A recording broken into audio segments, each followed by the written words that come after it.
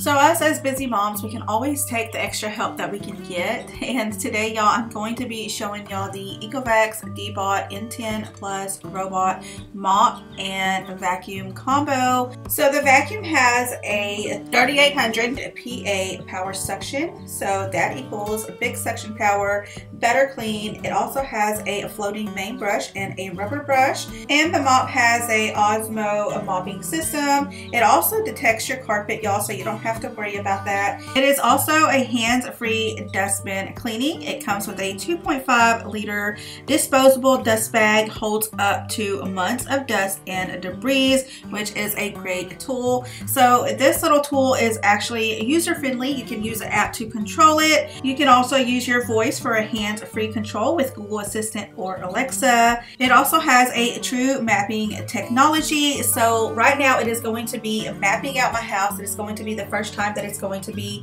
um, running here in my house. So it's going to go in every little room, every little corner, and it's going to map out where it can go and where it cannot go. So this part may take a bit longer, but the next time it won't. I also love the fact that I can be at the grocery store and want to have a part of my house vacuumed and mopped and I can go ahead and turn it on and have it do that for me while I'm away and then I come home and I have a nice clean mopped floors. So I've definitely been enjoying having the extra help keeping my floors nice and clean. I love that my floors are always clean. I hate when I'm walking barefoot and I get stuff stuck on the bottom of my feet and I love the fact that you can vacuum and mop both at the same time. And one thing that surprised me y'all it's really good on tough stains when it comes to mopping so that is a huge plus. So right now would be a great time for you to purchase one. It will definitely be worth it. So I will have a discount code for you down in the description box. Also a link that will take you right to the product. And make sure to take advantage of that discount code if you have friends and family that would be interested in a Ecovacs Deebot N10 Plus robot vacuum. Be sure to let them know it is Jessie approved.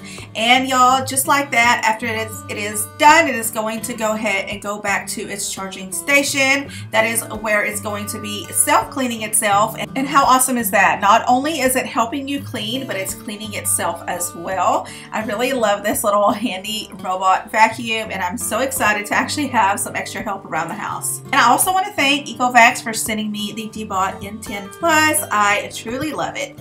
All right, y'all, so here we are with a Walmart grocery haul. So this is the stuff that I picked up for the week. Let me go ahead and show you what I have here. Then I also have some stuff behind me on the table. So right here, y'all, I have a couple mocha iced coffees. This is what my husband likes to drink. It's just easy for him to grab and go when he goes to work. Um, I have a no-bake Oreo cheesecake.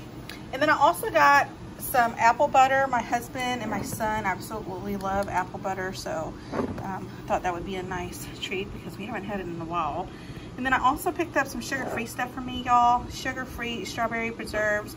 Um, it is sweetened with Splenda. So I am going to be you know, of course, strictly, strictly gluten-free, and I'm going to cut down a lot on the sugar as well, trying to heal my body um, from all of the inflammation, so that's the reason why you will see some sugar-free stuff in here. I also picked up some creamy peanut butter, and then I have not tried this yet, but comment below and let me know if you have. I know this is really popular. I see a lot of people talking about it and it's also gluten-free. I wanted to try something a little bit different. I'm gonna be having like a lot of grilled chicken that I'm gonna be grilling up here um, at the house. I just thought, you know, just different seasoning, a different taste, just to make food a little bit more exciting since I'm doing um, a lot of different um, ways of eating. So I'm excited to give this a try and see how it is. I have some sweet corn. I have a, I think about four cans of sweet corn here. And then also, y'all, I was craving this, and I thought this would be really good for one of our meals. So this is sliced pineapples. And what I like to do is I like to grill them with a little bit of cayenne pepper. If you haven't tried it, oh my gosh, y'all, it's so good. Um, we usually do it with the fresh pineapple. I haven't tried it with the can, but I'm sure it's still going to be good. I just didn't want to get the fresh just in case I didn't know, you know, I didn't know what meal I was going to have it with and I didn't want it to go bad. So this way they're just going to be in the can. Um, what else? Oh, so I got some dressings here. So I don't know why this one ended up in my cart. Oops. I don't really know why this one ended up in the cart, but it did. So it is the Hidden Valley Original Ranch. And then I got a couple Skinnygirl ones. And the reason why I got these, y'all, because they are gluten-free and sugar-free dressings. So I'm excited to give these a try and see how these taste. So I got the poppy seed and then I also got the raspberry vinaigrette. So I'm excited to give them a try and see how they are. I also got some leaf spinach. I'm going to be the only one eating that because, you know, my family don't really eat a whole lot of veggies like I do. I like all of my veggies. I don't think there is a veggie that I don't like, y'all. I have some cilantro here. I thought this would be good to make some pico to have on the side to eat with some of my foods. Also, I'm going to be making some cilantro lime rice. I'm to be eating my husband and my son. I got them some chicken patties. Well, mainly my son's to eat them. I don't think my husband likes them, but for there's some chicken sandwiches. It'll be something easy for my son to eat for lunches. And then I have a big bag of zucchinis. I we love zucchinis, me and my husband. So I got a big bag of them. We're gonna be having them fried on the side of some meals and baked. So I cannot wait to have some of those. I also got some um, mini Persian cucumbers. And then I also like this one too. Um, so I got some of both. I have a bag of some baby carrots, cauliflower, and a bag of onions because I was running low. I don't even know if I have a onion left. So I needed a big bag of onions. Also some garlic. I did order the one that was already peeled in a bag, but they had to substitute it with this. But this is it's just fine. Also, I have a bag of black beans. So I'll go ahead and cook that up here at the house. I try to stay away a lot from the um, canned stuff just because, you know, I'd rather make the stuff myself and know what's in it. But um, so I can do that with the black beans. But as far as the corn goes, y'all, it's just kind of hard because if I don't eat the stuff in time, it'll just go bad. So that's why I did the cans in those. Um, so I also have a thing of hamburger buns here for chicken sandwiches. Just some sliced bread. And then I also picked up this gluten-free Hawaiian sweet. It is dairy, soy, nut free which I am excited about trying. I haven't tried this brand before, and it is the Hawaiian Sweet, so I think it's going to be really, really good. Some pink salmon and some tilapia, so we can have some, you know, baked fish with some veggies one day. Broccoli florets. And these are the chicken patties that I was talking about. My son likes these, and what he likes to do is kind of make them like a McChicken um, from McDonald's. So I'll shred up some lettuce, and then he'll add some mayo to the bun and then some cayenne pepper for some heat. And the chicken patty we'll put them in the oven and they'll get nice and crispy. So these are the chicken patties pretty good. And then a bag of asparagus. Really wanted to get them fresh y'all but like i said i didn't want them to ruin because that's a big problem of mine. And then brussels sprouts. I love brussels sprouts. I don't think my husband or my son will eat those. Those are just for me and then my husband does like brussels sprouts so got some of those and also for a couple dinners, we got some salads. So I have a couple bags of salad here and then some spinach to go with that. And then one night, y'all, I'm gonna be doing some homemade meatloaf and I'll share that recipe with you. I don't think I've ever shared it before. So it's there's the pepper and onion blend. I also got some almond milk. For me, I love almond milk. And then also I'm gonna start doing my smoothies. Um, this is a good way for me to start um, incorporating some good, um, you know, potassium, since my potassium does run low, to get my bananas in for the day and just, you know, have some healthy breakfast. So I have some almond milk here with the chia seeds and the flax seed, and I will be putting those in my smoothies with bananas. So I'm excited about that. Also have some strawberries and blueberries in the freezer.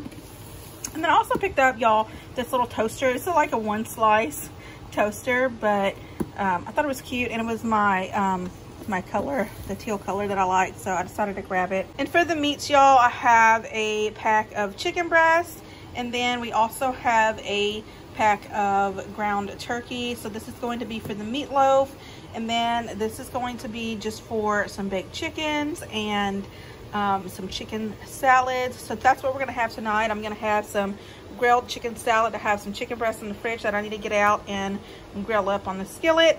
I'll do that and then we'll have a salad for dinner. so yeah, y'all, that's what I have right here. Here, y'all, on this table, I have some stuff here as well. So I have um, 12 gallons of water. That's probably, probably a lot of waters, but I just wanted to make sure I had enough. And then also I have some um, sparkling waters here. I did get a lot of those, so that should be enough waters. And then I got some aluminum foil, some disinfectant wipes, toilet bowl cleaner. And then moving on over here, y'all, a watermelon. We absolutely love watermelon. I've been getting one every week. and then a bag of, so a pack of napkins and some bananas for smoothies. So I'm going to go ahead and get all these groceries put away really quick and then I'm going to go ahead and share with you a yummy delicious dinner recipe. So I'm starting out by making my rice. This is going to be cilantro lime rice. So I've washed my rice. After measuring it, added the appropriate amount of water, put it back into my rice cooker, added some salt, olive oil, some cilantro, and I almost forget the lime juice, but um, I am going to go ahead and add in some lime juice as well. And y'all, if you haven't tried cilantro lime rice, definitely give it a try especially if it sounds like something you would like because it's so so good and it pairs very well with a different meats and also it is a substitute for the boring white rice. So the rice is done. I'm going to go ahead and let that cook. Now we're moving on to the fish. So here I have some salmon because I love salmon. And I also have some tilapia. I thought I got swai fish because that's what I like to get but when I was doing the pickup order I accidentally clicked on tilapia without realizing it so I'm just seasoning it with Tony's uh, Creole seasoning and with a little bit of turmeric. That is all that I'm doing, just keeping it very plain. And I'm going to go ahead and put this in the oven, bake it. Now I'm going to go ahead and make some homemade black beans. So I've washed my beans. Now they're boiling. And I'm just going to go ahead and start seasoning. Now I want these beans to be flavorful. So I'm adding some onion powder, garlic powder, some paprika, a little bit of chili powder, salt, black pepper, all of the good seasonings, y'all. So I'm making sure it's all seasoned. And then I'm actually going to be adding in some cilantro and half of a jalapeno that does not have the seeds in it because I don't want it super spicy, but I want it to have just a teeny tiny bit of a kick. And I'm just going to let it cook. After it's cooked for a little bit, I'm going to go ahead and add in a, a little bit of my um, onion and bell pepper mix because I want it to have so much flavor.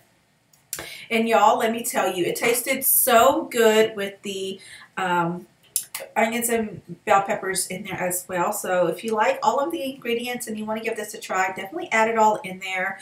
You want to make sure you keep your eye on it and add water to it um, until the beans are completely done because you don't want it to burn. So for a side, I'm also making some grilled pineapples with cayenne. Now I went overboard with the cayenne here. The kitchen was really smoky, so do not do this. Um, but next time I would just grill it and then sprinkle it with some cayenne pepper at the end um, because it got the house very smoky. We were coughing. It was just horrible. So but that was um, all that I made for dinner, y'all, and it was super good. And this is what my plate looked like, y'all. Very, very yummy and delicious. Oh my goodness, and it smelled so good. I was so ready to sit down and dig in. I hope y'all enjoyed today's video. Thank y'all so much for watching, and I will see y'all in the next one. All right, bye y'all.